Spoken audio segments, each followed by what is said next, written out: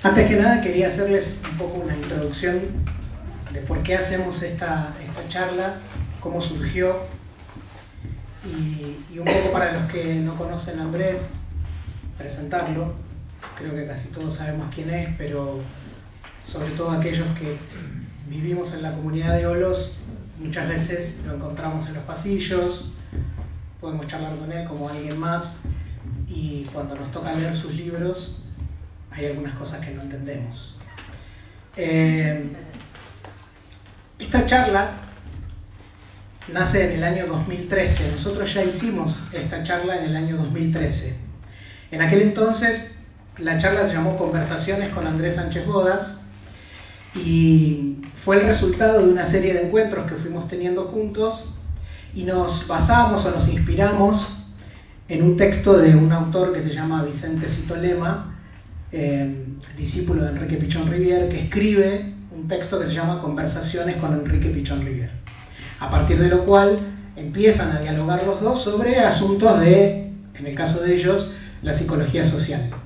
A partir de eso nos inspiramos y pensamos un poco cómo, cómo hacer para que las personas que leían los textos de Andrés, algunos textos, insisto, un poco complejos, podían empezar a entender no solo al, al, director del lugar donde estudiaban, sino al autor de los libros que leían. Entonces, como les decía, en el 2013 nos juntamos en este lugar, hicimos esas conversaciones y en aquel entonces el, el título de la charla era del psicoanálisis al enfoque holístico centrado en la persona. Es decir, era ver cómo él como autor había transitado esos años de psicoanalista hasta llegar al momento en el que ejerciera como terapeuta del enfoque holístico centrado en la persona. Tiempo después de esas conversaciones y como resultado de esas conversaciones y de otros encuentros que Andrés también mantuvo con María Reyes y José Gómez Lauman, nace el último libro, que es Quiasma, eh, del cual también vamos a, introducirnos hoy. Porque en esas cosas que tiene la vida, encontré entre mis papeles aquel borrador del 2013 donde le hice algunas preguntas y me fui dando cuenta que algunas preguntas ya estaban desactualizadas, que el tiempo había pasado, que la sociedad cambia y que ya no le iba a preguntar algunas cuestiones que tenían que ver con la integración, porque ya tenemos entre nosotros a Kiasma. Entonces, algunas quedaron, otras no, pero lo interesante de esta charla es que Andrés no sabe lo que le voy a preguntar. Bueno, de esta sí sabe, pero está teniendo algunos trastornos nésicos, entonces no recuerda. Eh, de verdad, de verdad. No recuerda lo que le, le pregunté en ese momento. Eh, y hoy me decía algo que, bueno, para los que saben, yo trabajo con personas mayores. Él me decía lo que dicen los consultantes mayores, esta nueva longevidad, dice, che, yo no me siento de la edad que tengo. Me doy cuenta de la edad que tengo cuando tengo que levantar algo y me duele. ¿no? Bueno, este autor, que intenta de alguna manera ser auténtico y contarnos el, el, paso del ciclo vital en el que está, hoy lo vamos a entrevistar. La idea es, yo voy a intentar replicar nuestros encuentros. Vamos a tomar café, vamos a tomar agua, digo, vamos a intentar hacer un encuentro como los que nos gusta tener, con algunas preguntas que agregué en función de Kiasma y de una novedad con la que se van a encontrar hoy, que es que él ya está trabajando en un nuevo ensayo, eh, por ahora es un ensayo, y de lo cual también hoy le voy a preguntar. Eh, todos creo que lo conocemos, Andrés Sánchez Bodas, es licenciado en Psicología de la vieja Universidad Nacional de Buenos Aires. En aquel entonces la carrera no se estudiaba en la Facultad de Psicología, sino en la de Filosofía. Creo que te graduaste en el 72. Sí en el año 72. Su grupo sanguíneo, no, bueno, eso ya. Bueno, Andrés, un poco. A positivo. Para, para empezar, voy a arrancar con aquellas preguntas del año 2013. Hola, hola. En el medio. Hola, hola. Uno, uno menos. O uno, uno. Esto tiene que ver con mis 71 años. Eh, Que les cuento. Hola, ¿cómo les va? Gracias por venir. Sé que hay gente viniendo, pero vamos a empezar porque hay gente que llegó antes y bueno, parecía que era una falta de respeto, ¿no? Pobre gente la que está en el medio del tránsito. ¿Vos tardaste una hora y pico? Bueno. Eh, no, ayer mi mujer y mi hija se fueron a, y mi nieta a Brasil, pasó una semana y les levanté las valijas, ¿viste? agarré el auto esta madrugada y me quedé torcido. Y le digo a él, yo no me di cuenta que tengo 70 años, pero los tengo. Por suerte no me di cuenta. Bueno, y quiero agradecerte, Ezequiel, de reedituar esta charla que la teníamos que haber hecho antes, pero bueno, porque no sé si lo conocen a él, él es un profesor de esta institución, que bueno, las alabanzas pueden ser pocas. Hacia vos. ¿Ok? Bueno, empezamos. Te voy a preguntar por qué, por qué estudiaste psicología. Contanos eso. Ah. Esa era la primera pregunta del año 2013. la otra vez hicimos una dramatización que dijo no la hagamos hoy, que se suponía que él llegaba a mi casa, por eso es escenario que preparamos, y charlábamos como charlamos en mi casa, que muchas veces con él. Y le digo, vamos al revés hoy, así que yo llego a tu casa. Pero bueno, no importa, como se dio esta circunstancia del atraso, cambiamos el escenario. ah, sí. Eh, no, mira, yo este, en realidad cuando tenía 15 años, eh, un tío mío me regaló el y la Nada de Sartre. Me acuerdo que algunos vos conocen esta historia, porque alguna vez te la conté, creo. Este, porque mi tío era un intelectual, este, y eh, debo haber entendido el 10% o el 3% de ese libro, pero me influyó muchísimo en mi vida este, cuando tuve que decidir una carrera que mi familia pensaba que yo iba a ser médico, porque eso es lo que se usaba en esa época. Este, cuando dije que iba a ser psicólogo no entendían nada. Yo, tengo matrícula 685, quiere decir que soy el psicólogo 685, matriculado. Ahora hay 50 y pico de mil, no sé cuántos hay. Eh, y en realidad yo fui a estudiar filosofía. ¿eh? Este, y mi papá, después del primer año de facultad, me dice, ¿de qué vas a...? Yo soy hijo único. ¿De qué, ¿De qué vas a vivir, Andresito? Me dice. Eh, de dar clases, me parece que lo tenés que pensar. Y me quedé pensando y me enteré que existía la psicología, te soy sincero, en esa época no se hablaba mucho de psicología, la gente iba al psiquiatra, ¿eh? Este, tenía problemas. ¿eh? y me, como el primer año era común, en la Facultad de Filosofía y Letras, dije, bueno, voy a probar. Y el primer año ya lo había hecho y me metí en psicología y me entusiasmé. Y me gustó. Y ahí seguí. Pero en realidad, soy honesto con todos, a mí me gusta más la filosofía que la psicología. Siempre me gustó mucho más. Y algunos que conocen mi casa y mi biblioteca, si hay, no sé, 300 libros, pues si cosas, no sé, 220 son de filosofía y el resto son de psicología. Y creo que eso tuvo que ver, no sé si me vas a preguntar eso, con mi, pas, mi pase del psicoanálisis a Roger, ¿no? Te voy a preguntar. Te voy a preguntar eso. Dentro de la, de la, carrera de psicología, me imagino que habrás estudiado algunos conceptos que no solo te formaron como psicólogo, sino que tal vez te habrán resonado como persona. Sí. Si hoy tuvieras que elegir algún concepto o algo, alguna idea de la psicología. Me sorprende la pregunta. Eh, en aquella época decís, como. Sí, algo que estudiaste como, como, como joven, hoy, a esta edad, en este tiempo. Sí. ¿Qué concepto psicológico vos decís con este me quedo. Qué pregunta me hace este muchacho. Eh, que hacer memoria. Em, el debate que había en esa época, yo fíjate filosófico. Disculpen, a lo mejor me meto en algo medio complejo. Entre lo que decía un tal Hobbes y un tal Rousseau. Disculpen, ¿eh? Este, que era un debate todo a favor de tal Hobbes, que Hobbes pensaba, y yo me acuerdo que me metí en esos debates, que el hombre era malo por naturaleza, que el hombre era el lobo del hombre, y en ese concepto anidaba de alguna manera algunas concepciones de Freud. Y yo no, yo no estaba eh, acuerdo con ese concepto. Igual Rousseau me sigue, ahora no me gusta más Rousseau porque era un idealista, pero aparte, yo decía, yo pensaba que el hombre era positivo por naturaleza, y eso eran grandes debates en aquel momento, que, pero no había ningún autor que lo dijera cuando después descubrí que Roger decía eso, pero eso lo descubrí años después. Y otro concepto que me gustó y me estoy acordando fue el concepto de atención flotante de Rogers, de Freud, perdón. Te traicionó, ¿eh? ¿Eh? Sí, de Rogers. Bueno, porque yo creo que Rogers, no sé si lo hizo sin querer o sabiéndolo, es un concepto muy cercano al concepto de no directividad. Cuando Freud dice en algún momento determinado de su desarrollo profesional, él descubre, digamos, que había que dejar que el consultante hablara y dijera lo que tenía ganas de decir. Eso lo dijo Freud, que llamaba atención flotante para el analista. Después, bueno, lo que hacían analistas es una cosa que yo no coincido, pero al margen, eh, después interpretaba, se acuerda su teoría, lo que el consultante o paciente, paciente decía. Pero me acuerdo que ese concepto a mí me hizo. Y otro tema que también me impactó fue la idea de Jung, me, estoy acordando, acerca de una revisión del inconsciente, acerca de, que el inconsciente no era el inconsciente, sino era lo inconsciente. Eso me impactó porque me di cuenta que la concepción de Freud era él. Él, si vos decís él, está en algún lado, ¿cierto? Él. Lo es lo. ¿no? Y eso fue, creo, el gran aporte de Jung. Estoy hablando de mis épocas de psicoanálisis, de estudiante y de estudiante de psicoanálisis. Y lo nombraste a, a Freud. Sí, gracias a Freud estamos acá. Y de eso quería preguntarte. A veces tengo la sensación, con todas las diferencias que, que podemos tener con Freud, que somos un poco desagradecidos, algunos. Eh, mucho y principalmente la culpa la tienen los psicoanalistas. Entonces, eso te pregunto, ¿quién es para vos Freud hoy? Eh, además de un genio, este, es mi abuelo.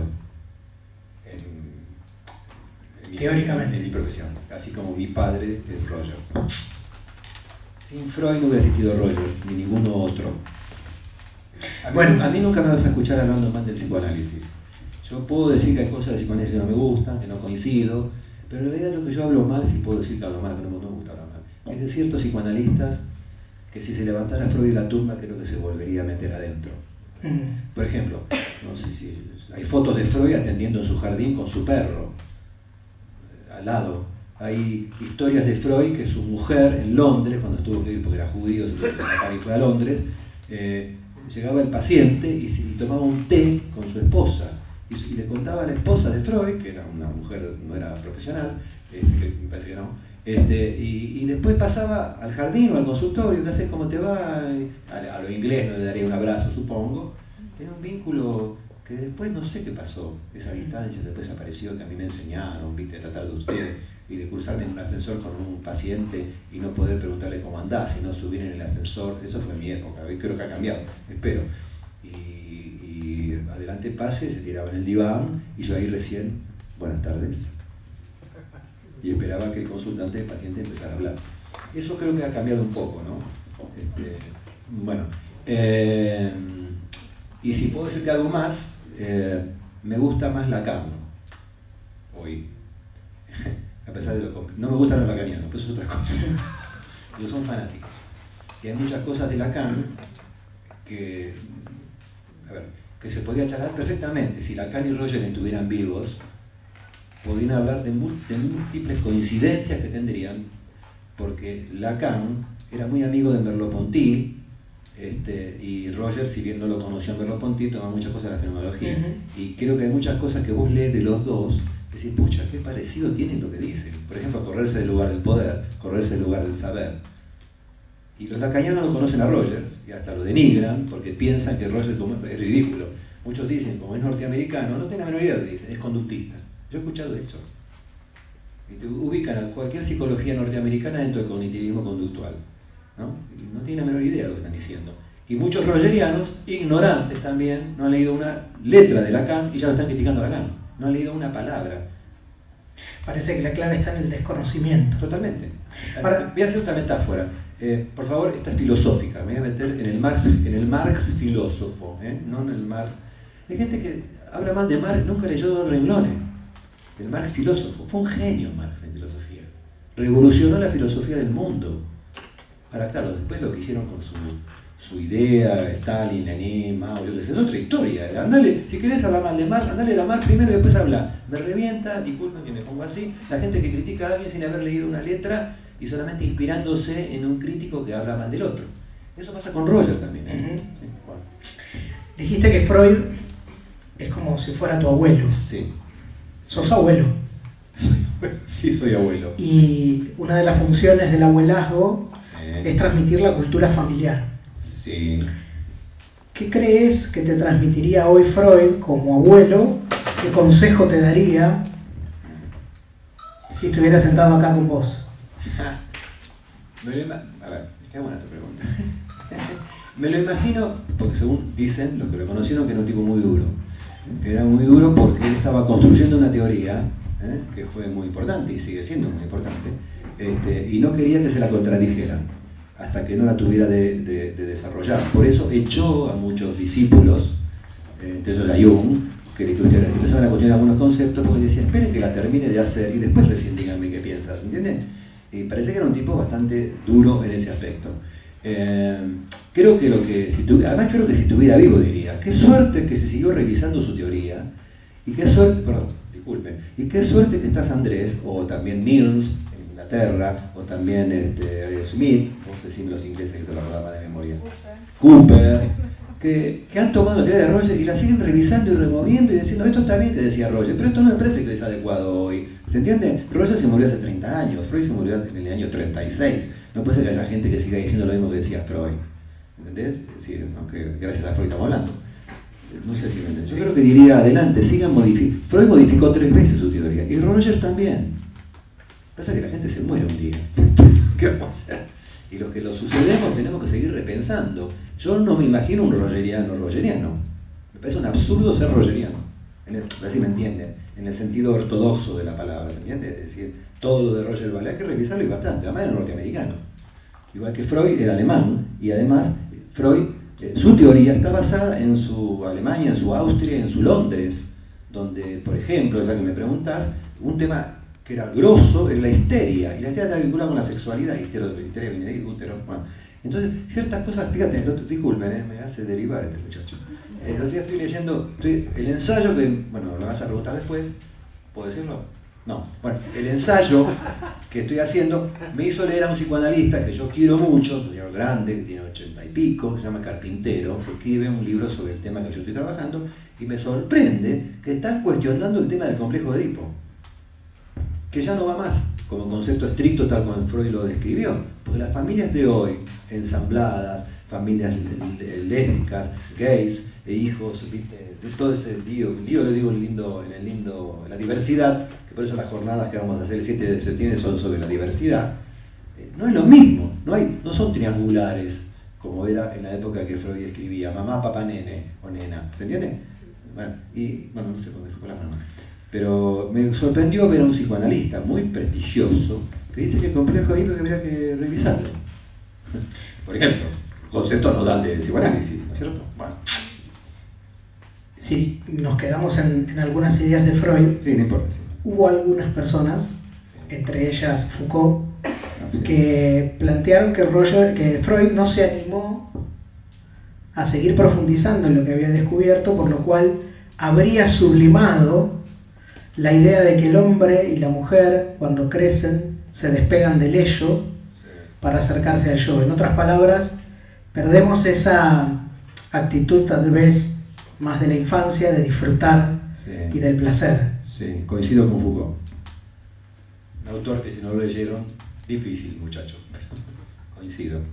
Y de hecho... Nos hemos alejado del disfrute. Totalmente. Eh, por favor, no, que hoy te decía, ¿cómo se llama ese autor? Byung Chun Han. Bueno, hay un autor que se llama, no sé si lo leyeron algo, es un, no me cómo se escribe, Jung Byung Chun Han, que está haciendo todo un trabajo, eh, para mí brillante, es un coreano que vive en Alemania, que está cuestionando todo lo que está pasando en la cultura hoy, y sobre todo en el neoliberalismo. ¿Cómo está esto? No es, no es, es un filósofo, ¿no? no lo dice políticamente, sino la sociedad de consumo, su historia, ¿no? Este, que sugiero leer si están interesados en ver, en analizar el mundo. Porque lo que está pasando en Argentina, que todo el mundo estamos medio rayados, está pasando en todo el mundo, no es un producto argentino esto de la, de la diferencia, está pasando en Estados Unidos, está pasando en España. Es no se queden solamente pensando en, no sé, disculpen, no para de política, Macri, Fernández. En el mundo está esta división, en el mundo. En España, fíjense lo que está pasando. En Estados Unidos, que mi hijo vive ahí, dice, usted es un de pecho él, ve televisión y, los demócratas y los republicanos se insultan con malas palabras por televisión, se odian. Uno se queda pegado ¿qué nos pasa a los argentinos? No está pasando lo que está pasando en el mundo. Brasil. A nuestra manera, ¿no? A nuestro modo autóctono. Brasil ni te cuento. Estaba pensando en esto que... Disculpa, me fui, pero bueno. Estaba pensando en esto de los diferentes autores que pasaron por tu profesión. Sí. Y si, un poco de olvido se trata, algo que me sorprende mucho en las clases, es que algunas personas, alumnos y colegas, no conocen a, un autor que para mí es muy interesante de leer, eh, que a mi gusto y a mi criterio es quien introduce de verdad el pensamiento de Rogers en nuestro país, que solo se lo conoce por ser el papá de un cantante. ¿A qué no adivina quién es? Es el papá de un cantante que cantó... Marcelo Marcelo. Exactamente. Brillante. Fue uno de los introductores, en realidad fue el introductor del pensamiento de Rogers en Argentina, lo que pasa es que falleció y no llegó a crear una escuela como si la, la logró crear eh, Manuel Artiles. Eso te iba a El preguntar. otro gran creador. ¿Quiénes son para vos entonces Manuel Artiles Y y Lerner. Marcelo Lerner? Y son. A ver. A ver, entonces tendría que ir para atrás. No sé qué sería, mi tatarabuelo sería Freud. Son mis padres aquí, en Argentina. Mis padres teóricos. Sí, los dos. Por eso en uno de mis libros yo menciono a los dos y alguien se me enojó que lo, que lo mencionaba Lerner. Chicos, los dos introdujeron el enfoque en Argentina. El Lerner- libro de Lerner es maravilloso. Lerner también con un proceso de investigación científica bastante fuerte para Sin ningún- comprobar algunos postulados de la teoría rogeriana. ¿no? Sí. Se llama intro- ¿cómo era el? Introducción al pensamiento de Rogers, de Sí, Carl Rogers. sí. Ahora, entonces, ¿quién fue Carl Rogers? Sabemos que vas a decir mi papá. Pero ¿quién fue Rogers para vos en la historia de la psicología? Eh, fue la persona que me abrió el camino de darme cuenta que yo estaba buscando otra cosa y no la encontraba, ubiques en una época, este, hasta que apareció mm, Julio, Julio Artiles, hermano de Manuel Artiles, que me dice, Andrés, viene mi hermano de, de Europa, Manuel había sido cura, este, y lo mandaron a estudiar psicología porque había habido un conflicto que los curas cuando se atendían con un laico, muchos dejaban de ser curas. Entonces se montó un lío, entonces dijeron vamos a mandar a los curas a estudiar Europa. Y fue al Institut Catholique de París, para francés, este, y volvió a la Argentina y dejó de ser cura. Este, y no sé si saben, cuando alguien deja de ser cura, queda en- no tiene de qué vivir. Entonces se puso a enseñar una teoría de un tal Carl Rogers. Y mi, amigo Julio, que lamentablemente falleció, se, fue a vivir a España después y se hizo, gestáltico, este, y lo fui a ver a Manuel y dije, ah, por aquí viene la mano, por aquí viene alguien que integra filosofía, que integra una visión humanística, existencial, fenomenológica, y me formé con Manuel. Y Lerner, por decirlo, se había muerto ya, ¿no? Bueno, Si, es mi maestro, Manuel, si le querés poner un nombre, ¿entendés? si te preguntara también, hablaste antes de, de Freud, Lacan, Más, perdón, fue el primero que me dijo, eh, entre otras cosas, eh, vos tenés que repensar a Rogers. Porque vos tenés, yo fui consultante de él, alumno de él, ¿eh? amigo de él, y me dice, vos tenés ideas que las tenés que empezar a pensar y escribirlas. Yo tenía 30 años, 31 años. Eh, sobre todo, por te motivó ejemplo, de alguna manera. Sí, por ejemplo, con el tema del ensueño, que no sé si algunos saben, hay un método que se llama ensueño despierto, para que hay algunos que lo conocen bastante, que Manuel me dijo, trabajemos juntos y revisemos la teoría de Tedesual, que es un teórico, y hagamos la rogeriana, porque era una teoría psicoanalítica, un método psicoanalítico. Lo hicimos juntos eso, ¿eh? hace un montón de años. En la sala de profesores hay dos cartas Sí, que Rogers describe. sí. Contame esa historia. Este va a ir al pasado. Bueno, después vamos a hablar del presente, ¿no? Dale, bueno. Eh, sí, yo eh, cuando empecé con estas ideas de... En esa época existía eh, el CEPOR, donde nos formábamos, Centro de Estudios Psicológicos de Orientación Rolleriana, y también armamos la Asociación del Enfoque Centrado en la Persona, e hicimos una revista que se llamó Congruencia, y a mí se empezó a ocurrir la idea de crear esta carrera. Y, entonces le escribí a don Carl Rogers, y él, por supuesto, eran cartas, chicos, chicas, no había internet, eran correos. Este, y él me respondía a las cartas en un papel amarillo, interesante, este, y me fue ayudando. Perdí algunas cartas, sinceramente, en las mudanzas, donde me asesoró, me tiró ideas de qué hacer con el counseling, este, de cómo darle un formato. La verdad me ayudó un montón. Lo que pasa es que me quedaron 3 4 cartas, no sé por qué se me perdieron las demás. Este, y de hecho yo lo invité a que en marzo del 87 em- empezamos a formar el primer grupito de 20 y pico de personas que se habían anotado eh, y le mandé una carta. David Kane era su secretario, me acuerdo, me, hiciste acordar, che. Este, y no me respondió la carta y me llamó la atención porque me respondía. Viste, una carta a veces tardaba dos o tres meses en llegar ¿no? a Estados Unidos. Y dos meses después me llega una carta de David, me dice, mira, este, eh, falleció, falleció en febrero del 87. Me dio una, mucha pena, porque yo estaba muy ilusionado de que él viniera y, y fuera como el inaugurador del counseling en Argentina, pero se murió antes. No sé, pasó eso. Me, me quedé pensando en un libro que en el 2013 yo te decía que por alguna razón lo tenías abandonado, que era buscar un lugar en el mundo. Sí. En ese libro vos decís que la estabilidad es una negación de lo vivo.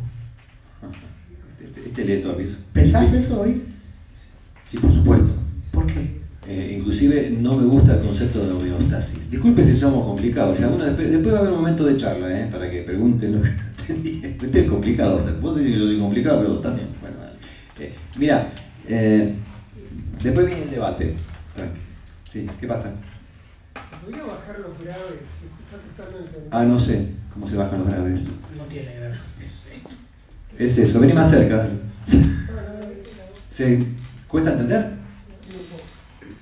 ¿Ahí mejor? Si hablamos ahí mejor. A lo mejor hablo demasiado cerca. ¿Ahí, ahí mejor? Vos ahí perfecto. Ok. ¿Y yo? ¿Ok? Bien, disculpen. No estoy acostumbrado a usar micrófono. Bueno, eh, mira, eh, a ver, ¿cómo se rápido? Sí. Eh, se puso de moda un concepto que usó Freud, mira vos, mira, el concepto de pulsión de muerte, esta historieta no vamos a hablar de eso, pero hablaba de que lo, como que había que apuntar a la homeostasis, ¿no es cierto? Al equilibrio, ¿no? El equilibrio es la muerte. Es decir, nosotros, mientras estamos vivos, estamos en permanente desequilibrio inestable. Eso es la vida, desequilibrio permanente. Es, un concepto ridículo de homeostasis para lo vivo. Entiendo que, los organismos, que nuestros órganos internos tengan que lograr la homeostasis para seguir subsistiendo. Estoy hablando de otra cosa, de lo psíquico, de lo espiritual. Eh, y ahí aparece un autor llamado Goldstein, quién es, que cuestiona el concepto de homeostasis y habla de homeodinamia. Y también aparece otro autor llamado Maturana, que también lo cuestiona ese concepto. Eh, y, Roger sigue con el concepto de homeostasis, te digo, porque era, el concepto que estaba en la época, de un tal canon. Este, eh, pregúntense la vida de ustedes, ustedes son homeostáticos, si fueran homeostáticos estarían muertos. La homeostasis te quedas en punto de equilibrio, seguís viviendo. Yo doy una metáfora acá, yo también le di una charla, que vos tuviste, Osvaldo. Eh, ustedes, si vean dos minutos de fútbol, eh, ustedes saben que en el fútbol el que gana, bueno, si no saben lo van a aprender, el que gana saca tres puntos, el que empata saca un punto y el que pierde saca cero, ¿no es cierto? Si un equipo se siente chico y quiere el equilibrio y no quiere perder, lo máximo que puede lograr es empatar. A veces puede ganar de casualidad. Si un equipo de fútbol empata, juega 20 partidos, ¿cuántos puntos tiene? 20. ¿En qué lugar de la tabla queda? Es estadístico. En la mitad. Es estadístico. Un equipo que empata todos los partidos, no pierde ninguno, queda en la mitad de tabla. Vive una vida en la mitad. Es una metáfora que me gusta utilizar. Vive una vida mediocre. Que también, ojo, si la elige, vale que la elija, pero que lo tenga claro, que va a quedar en la mitad. Nunca va a ganar y nunca se va a ir al descenso, es verdad. Sí, no corre riesgo, ¿viste? No se va al descenso. ¿no? El que se juega a ganar puede perder. ¿Se entiende? Yo creo, por eso digo, eh, no sé si soy claro, como lo estoy contando. Eh, yo aspiro a vivir una vida desequilibrada, en el sentido positivo de la palabra desequilibrio, ¿no? de homeodinamia. No lo explicaré. No lo tenía en los planes, pero te cuento. No sé, ¿qué, qué, dije en ese libro? ¿Cómo era la frase? Que la estabilidad es una negación de lo vivo. Sí, sí, la, sostendría, pero fuertemente. De hecho, ningún animal, ningún ser vivo vive en estado de estabilidad. Se muere. Digo, ¿querés que sea filosófico? Alguna gente pregunta por el ser. No existe el ser. El ser es. Vas a ser ser cuando te mueras, che. Estamos siendo todo el tiempo. No somos ser. Ser es cuando te mueras y hablen de vos. Y digan Ezequiel Russo, Andrés Sánchez Godas, Alicia Gripa, Es. Sí, ya es, no va a seguir cambiando nada, ¿se entiende? Entonces sos, vos sos sos cuando estás muerto, ¿eh? Alguna vez, no, estaba en mis planes, pero me, me, hiciste acordar, alguna vez... Además nunca vas a saber quién sos. Si tienen la ilusión de saber quiénes son, perdieron, chicos. Bueno, Frank va a decir que la única manera de saber si descubriste el sentido de la vida es en el lecho de muerte. Exactamente. Eh, me hiciste acordar a. Eso es de Frankl. Sí. Ah. Me hiciste acordar a, a una de las personas que más admiré, que alguna vez te conté, que fue mi abuelo, que él era una mm, mezcla extraña entre pastor evangélico, gallego y profesor de filosofía. Entonces yo digo que era una mezcla extraña porque había momentos que le salía uno, que le salía el otro, y conjugaban y coexistían los tres, ¿no? Y me acuerdo cuando empecé a estudiar counseling, él se murió dos años después, eh, yo le pregunté por el equilibrio, porque había empezado a leer estas cosas, y en ese entonces él casi ya no veía, y me dijo, agarré el auto y me llevó a Chacarita. Ah, Y yo pensé que íbamos a ir a ver a la, a la tía, a la hermana de él, a dejarle un- una flor, sí. y, y me dijo, acá tenés equilibrio, acá tenés homeostasis, y me hiciste acordar a eso. ¿no? Eh, con abuelo. ahí creo que le salió el profesor de filosofía y un poco el gallego también. Strasser es un autor que a mí me gusta mucho, que él revisa los conceptos más importantes de toda la historia de la psicología. Él dice que los conceptos psicológicos son recortes. Eh, por lo tanto, dice usted, los psicoanalistas van a estar buscando complejos de Edipo por, todo lado, por todos lados. Por ahí podemos decir que los rogerianos estarían buscando tendencia actualizante por todos lados. Sí.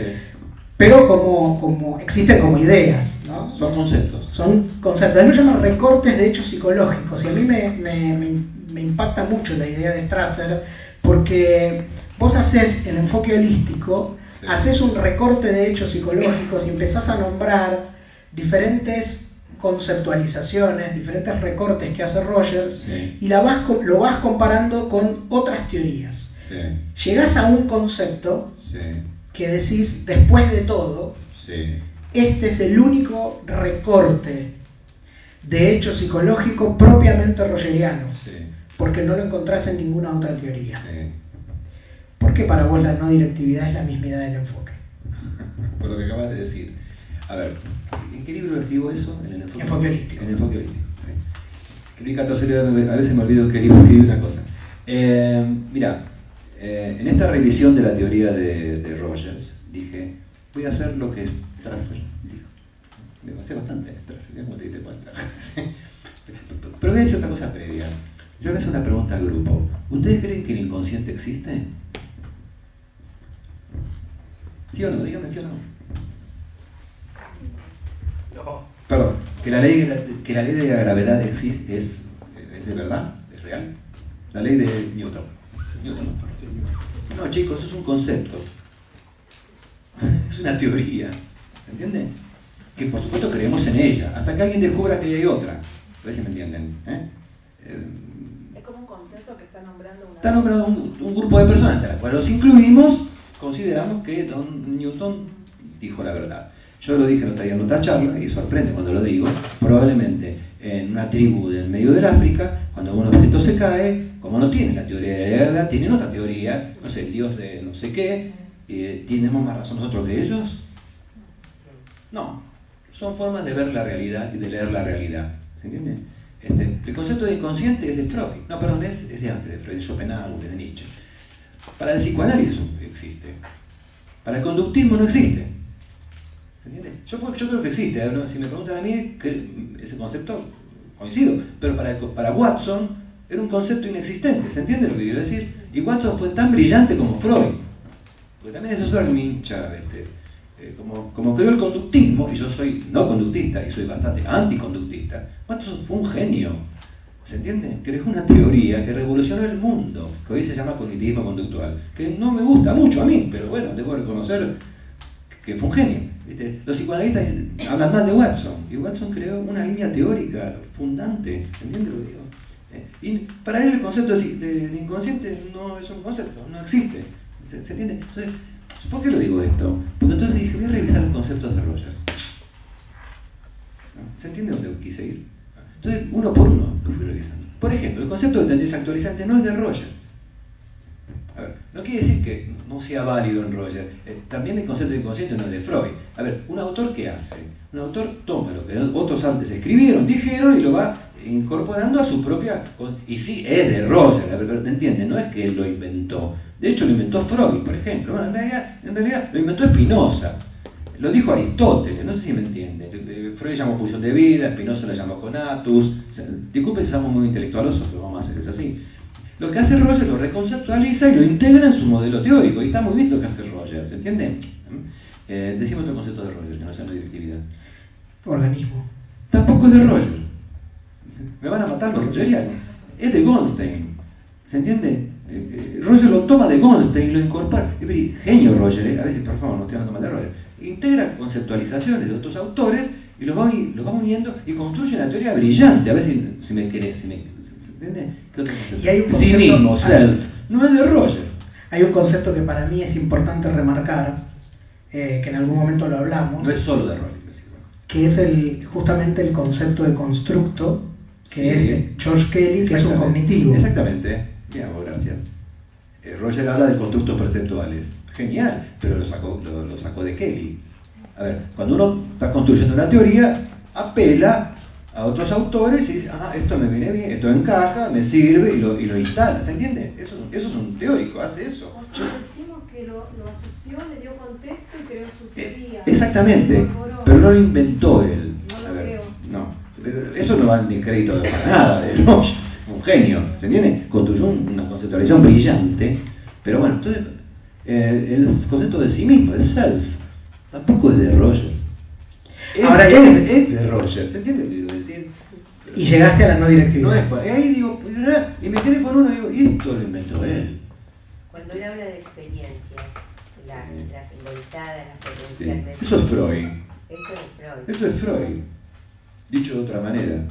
¿Qué, qué te diga? Cuando le da tanta Pero importancia. lo que pasa, lo que pasa es que lo resignifica desde el lado humanístico, desde el lado existencial, y le pone otro nombre, pero es fundante el cambio de nombre.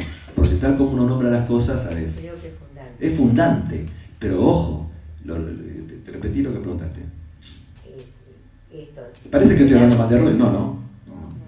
Experiencia. Cuando habla de experiencia. Eh, simbolizada, no simbolizada. Y eso es consciente e consciente inconsciente. Lo que pasa es que lo que hace Rogers, igual, que- igual disculpe, como también dice, perdóname, ahora voy a la directividad, eh, cuando él dice, no me gusta hablar en términos eh, de la medicina, del modelo médico, que es el modelo que tenía Freud, porque Freud era médico. Roger era psicólogo, ¿eh? esto cambia muchísimo el, nombre de las cosas, ¿entiendes? Cuando habla de neurosis, Roger no habla de neurosis, Roger habla de, desorganización. ¿Pero por qué dice eso? Porque le parece más fenomenológico. La gente no viene a decir estoy neurótico, la gente viene a decir que está desorganizado. Entonces Roger toma lo que dice la gente cuando se autorrefiere, ¿se entiende? Me parece piolísimo, porque corre el modelo médico.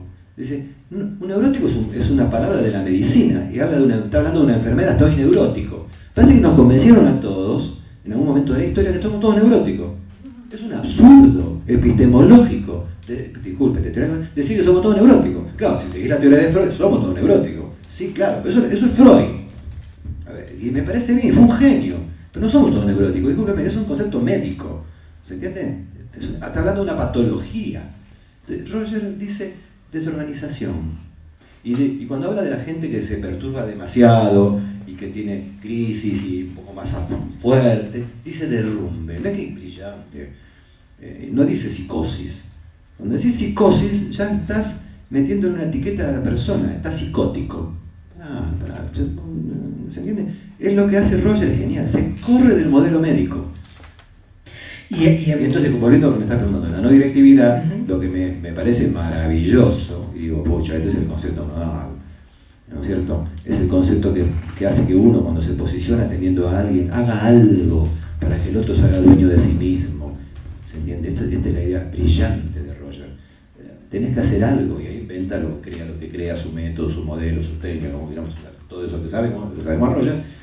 Y dice, yo tengo que sentarme ante un otro para hacer algo, para facilitar que ese algo sea dueño de sí. Y eso es ser no directivo. ¿Querés que te diga algo más? Me entusiasmo con esto. Eh, algunos autores brasileños, sobre todo un tal de Sousa, hace una, intervención, en un- yo tuve un encuentro, que dijo algo que todos nos quedamos paralizados, y ahora yo creo en eso. ¿Sabes lo que dijo? Que en realidad la filosofía de Roger es implícita es el anarquismo. El anarquismo. El anarquismo filosófico, ¿eh? no, los, ti- no los tirabombas de, que tiraban bombas. ¿Sabes por qué tiraban Eso no bombas? es anarquismo. Eso era que estaban chiflados, enojados, ¿viste? con un sistema represivo de aquella época. El señor Falcón, que hay una calle, se llama Ramón Falcón, no debería existir más esa calle.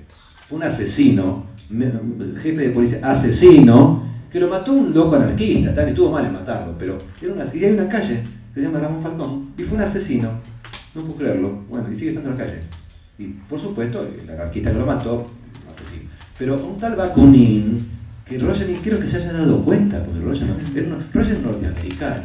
Los norteamericanos, discúlpeme si va a escuchar a algún norteamericano ahora, no son muy cultos en general. Les digo la verdad, no son alemanes ¿eh? o franceses. ¿eh? Llegan a ser psicólogos o médicos, estudian lo que estudian y muy bien, son muy buenos. Roger era un pragmático.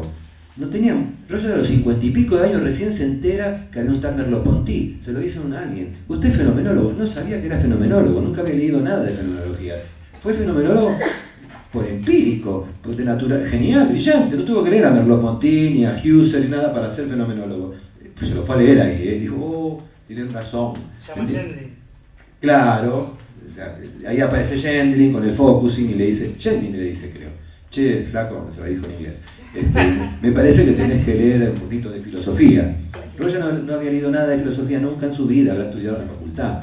Y, bueno, entonces el concepto de no directividad, que me fui por las ramas, como hago siempre, es un concepto nodal, que me, me llama la atención que digan que le tenés actualizante ese concepto nodal. Mm, Es un concepto nodal también, no lo voy a negar, pero es mucho más en la práctica, en la praxis.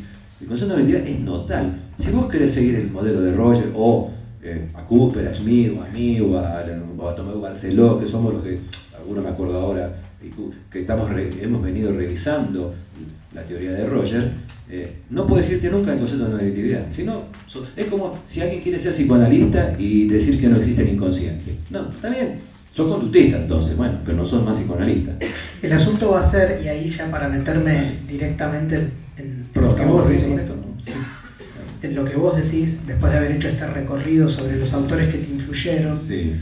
eh, empieza a haber algo que te voy a preguntar ahora en, en breve, que ya empieza a ser cuál es la relectura sobre la no directividad. Ya la, digo, la discusión no es no directivo o directivo, Sí. sino cómo cada uno, cómo vos interpretás Sí. o relees el concepto de no directividad. Y te quiero preguntar, para entrar en, en- en este libro que, no, que en aquella oportunidad no te pude preguntar porque, porque no existía, todavía no, no- no había, no lo habías escrito, ¿qué es quiasma para vos? Ahora, si vos tuvieras que explicarle a tu nieta Tiene dos años, va a ser difícil, no importa.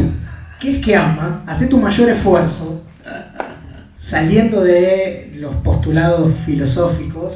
Si vos pudieras decir en dos palabras qué es quiasma para vos, pensá que en este momento Cuando dice abuelo, refiriéndose a, su abuela, está siendo quiasmática. Está integrando una palabra, la abuelidad. Todavía no dice abuela y mi mujer se pone loca, pero no importa. eh, quiasma, ¿qué le diría a la nena? No sé cómo se lo diría, pero para no habla todavía, así que no sé. enfocá algo bien sencillo. O a tus nietos adolescentes. ¿Cómo le dirías qué es quiasma? Pensá que hay un montón de alumnos que tienen que rendir esa materia. Y docente que tenemos que explicar. A mi nieto que juega al fútbol, eh, que vino a Argentina a querer jugar y como yo es fanático de River, le vamos a hacer, por suerte. Este, y, quiso- y lo, y lo- y lo tomaron en River, es norteamericano mi nieto, pero después se extrañó y se volvió y juega allá al fútbol, que tiene 22 años, él se lo podía explicar, que una jugada de fútbol y un gol es resultado de un quiasma. Es resultado de una interacción de múltiples variables, de ninguna en particular, de ninguna en particular, quedarse con una es un absurdo, el cabezazo final que metiste y entró en la pelota simplemente es el resultado de multiplicidad de variables que pueden haber empezado hace, cuando empezó el partido. Eh, eh, no, eh, 75 minutos después de empezar el partido, ese gol es el resultado de todo ese proceso, no de ninguno en particular. Parecería que fue el centro del wing que el tipo le metió el cabezazo. Sí, eso es lo que se observa, causa y efecto. Absurdo concepto. Olvídense de causa y efecto. Todo es una mezcolanza de cosas que fluyen, se intercambian y es imposible descubrir cuál es la causa. Y ese ¿Sabés gol. qué? No ¿Sabés sé qué? si mi- Si mi nieto me entendería. Pero claro, porque si lo mirás de afuera fue el centro que le metió el wing derecho y él entró y metió el cabezazo. Sí, está bien, el arquero se equivocó. A ver, a ver si te gusta esto. No sé si se entiende. Creo que mi nieto me entendería si le digo ese. Te voy a dar una metáfora, a ver si te gusta esto. Eh, Sabés que soy un fanático de las neurociencias Sí. y mm, una de las cosas que más critico es cuando dividen el cerebro en hemisferios, si bien anatómicamente está, Sí, es verdad. hay algo que una vez le preguntaba a un profesor mío, eh, que ellos definen desde el punto de vista neuropsicológico el quiasma. Y, y ellos dicen que el cuerpo calloso, aquel que une los dos hemisferios, es quiasma porque quiasma es un punto de encuentro. Sí. ¿Qué pensás de eso? totalmente de acuerdo. De hecho, perdón, esto- este, este término que yo le estaba buscando la vuelta, que me quedaba, disculpen como le voy a decir, me quedaba chico el nombre holístico, me parecía que había algo más ahí dando vuelta que el holístico. Lo holístico me parecía incompleto en mi búsqueda media chiflada que tengo. este, eh, y leyendo a Merleau-Ponty, que es un autor dificilísimo, pero que recomiendo, este, él en su libro Fenomenología de la Percepción, eh, habla del quiasma óptico. Y ahí me quedé con esa idea hace tiempo. ¿Ustedes saben por qué? ¿Saben qué es el quiasma óptico? Es el cruce que existe, que el ojo derecho se engancha con la parte izquierda ¿no? y se cruza. También hay un quiasma acá. ¿Por qué está cruzado? ¿Por qué no podemos ver derecho? ¿Por qué no el, por qué no el ojo derecho va para acá y el ojo izquierdo va para acá? ¿Saben por qué? Porque, no sé, lo hizo la naturaleza, la evolución, Dios, lo que cada uno quiera pensar, eso cada uno es libre de pensarlo, porque si fuera dividido, veríamos el mundo dividido. El ojo derecho vería una cosa y el ojo izquierdo vería la otra, ¿se entiende? Entonces estaríamos, no entenderíamos nada. Entonces la naturaleza, la evolución, Dios, quien quiera creer, lo hizo cruzar para que en algún lugar se cruce y se junte y se encuentren los dos ojos. ¿Se entiende? Cuando se encuentran los dos ojos en una sola imagen, si no habría dos imágenes distintas. Será el cuerpo calloso, puede ser brillante la naturaleza, brillante Dios, quien quiera creer. Eh, entonces dije, pucha, qué linda palabra para pensar que todo lo que es es encuentro. Si no, no es. Nada de lo que es. No, sí, sí, se entendió. En ese sentido de seguir, vos planteás que el enfoque holístico en aquel momento y No, hoy, sí. hoy lo que pensás como el enfoque quiasmático. Es una relectura no solo de Rogers, sino de otros autores Y de mí mismo. y de vos mismo. Sí. Eh, y hablas de algo que, sobre todo en, en la materia de tercer año, el enfoque holístico, Sí. a veces es difícil de entender y lo explicamos y se termina entendiendo, pero, pero me gustaría que pudieras decirnos si para vos tu concepto de mismidad tiene alguna relación con la experiencia en Rogers o con algún otro concepto de estos tantos que revisaste de Rogers. Qué pregunta difícil me hace muchacho.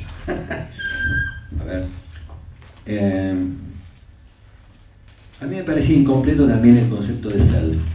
Porque el concepto de self, que es el concepto de, de sí mismo, es un concepto muy individualista, muy norteamericano, muy sajón, muy propio de un momento cultural también. Hace, eh, Roger escribió hace 40 años, ¿se entiende? Mm, Por un lado.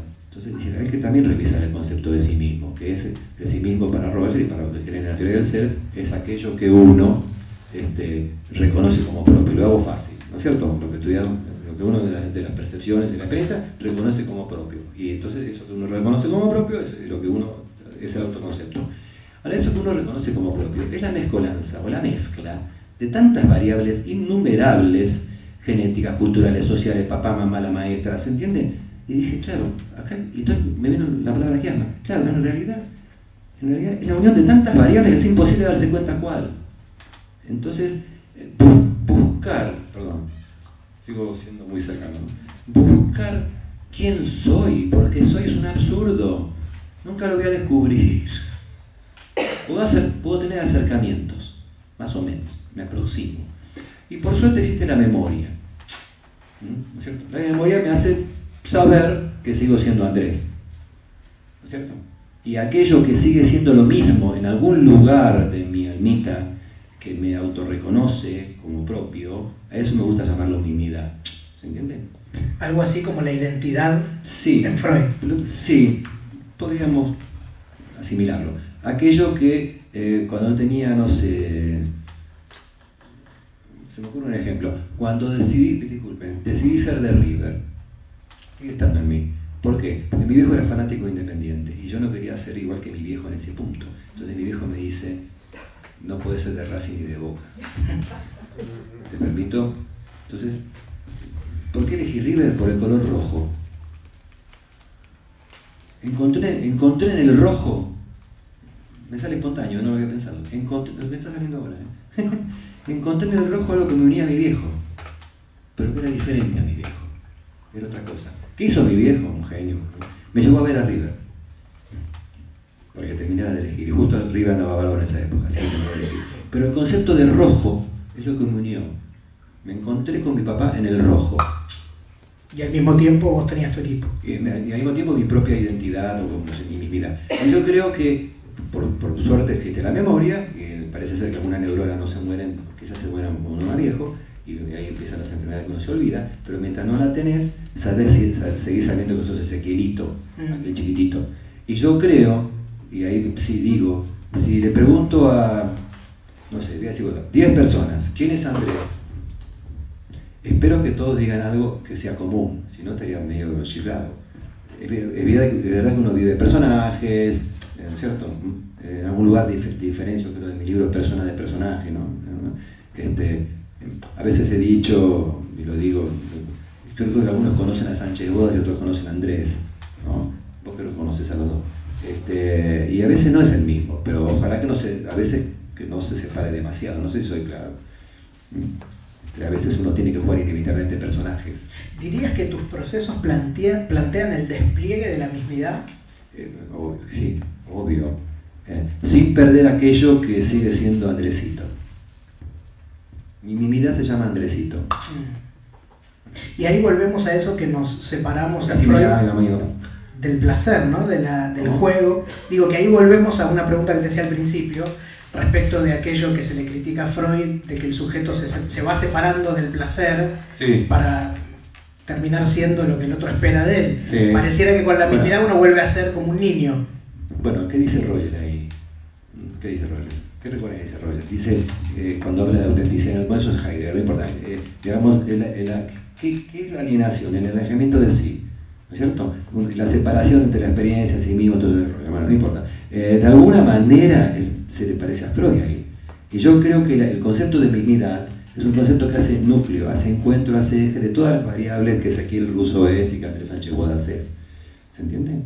Es un cruce, Es que ama. el quiasma. Eh, y ahí aparece toda una serie de cosas que yo digo, a veces media complicaditas, pero no importa. Este, Sí, tu teoría de la personalidad es para otro, para otro encuentro, ¿no? Hablas de una entramada, Sí. pero bueno, me da la sensación que A ver, ¿sabes lo que pasa, Ezequiel? Eh, lo que uno piensa y siente es recursivo. Eh, gira. Lo que pasa es que la escritura es lineal, es un problema. Creo que los que los mejores relaciones son los poetas, a mí no me sale. Algunos me han dicho que yo a veces escribo medio poético, pero no sé. Porque cuando vos escribís es lineal y en realidad es muy difícil escribir la experiencia. Roger dijo en algún libro que cuando se leía no era exactamente lo que quería decir. Eh, Pero ¿cómo explicar la experiencia? Es difícil explicar la experiencia, la experiencia es la experiencia, ¿se entiende? Entonces, yo a veces cuando me leo digo, pucha, me falta algo más ahí, ¿se entiende? Eh, pero bueno, eh, ¿qué vamos a hacer? Todavía no encontramos un lenguaje. Parece que el lenguaje chino, según me han dicho, es más acercado a la experiencia. Yo no conozco, porque es ideograma, ¿no? Algo así. Y creo que de alguna manera explica mejor o da cuenta mejor de, de la experiencia. El lenguaje el escrito, estoy hablando del escrito. para ir promediando, por lo menos de mi parte, el final y dar lugar a que Sí. podamos preguntarte algunas cosas. ¿Puedo decir algo más? Sí, claro. El concepto de Kierma, ojalá sea mirado más, no solo es aplicable a la psicología, ¿eh? Eh, sino a la física, a la química, a la política, eh, a, lo que, a la sociología. No sé, yo creo que lo tengo que ampliar eso, porque, eh, por ejemplo, cuestiona el concepto causa y efecto, cuestiona el concepto binario. No existe la maldad y la bondad. No existe eso. Está todo junto. Lo que pasa es que el ser humano necesita dividirlo para entenderse y poder comunicarse. Yo entiendo que uno tiene que comunicarse y decir malo bueno, a ver si me. Y ahí habrás leído algo de Jung, seguramente. Sin ninguna duda.